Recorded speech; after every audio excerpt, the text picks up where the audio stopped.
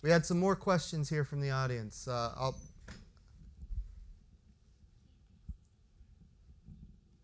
No offense, but we'll start with the young folks if that's all right. Um, my name is Jordan, and what was your first reaction when you got to NASA?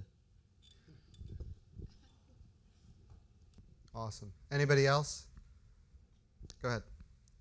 So I'd say, as Frank and Kayla said, a wide range of emotions when I found out.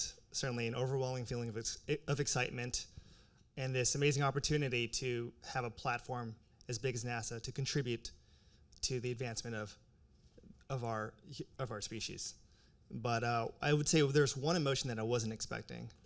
And uh, it was, I don't know if guilt is the right word, um, but maybe a little bit of guilt because, as Bob had said, during the selection process, you're embedded with amazing people who can do just as good, if not better, of a job than you. And knowing that this is a dream that's shared by thousands of people, and we're just the lucky ambassadors that have the opportunity to to fulfill this mission. Um, so I think that was initial. That was an emotion I wasn't expecting. That, that's an amazing perspective. The idea is you go through this process, you get to know people, and not everybody's going to make it. And you know that going in. And then when that day comes, when you get selected and your buddies don't, uh, that's, that's, uh, that, that's a perspective that I have not heard and is important.